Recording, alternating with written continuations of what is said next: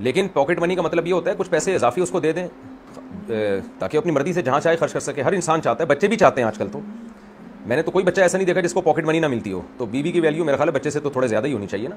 छोटे बच्चों को भी हम पॉकेट मनी दे देते हैं कि जहाँ चाहो उससे ऊट पटांग चीज़ें लेके खा रहे होते हैं, पापड़ खा रहे होते हैं और गोले गंडे खा रहे होते हैं, गले ख़राब कर रहे होते हैं अपने।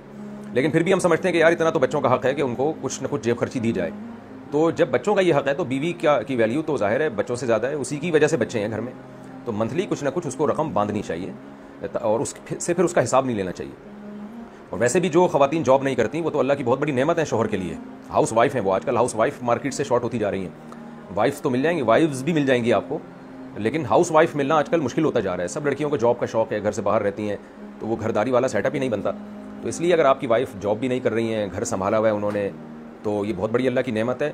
तो अब जब वो जॉब नहीं कर रही है तो आपकी ज़िम्मेदारी है कि कुछ ना कुछ पैसे अपनी वाइफ के हाथ में पकड़ा दिया करें।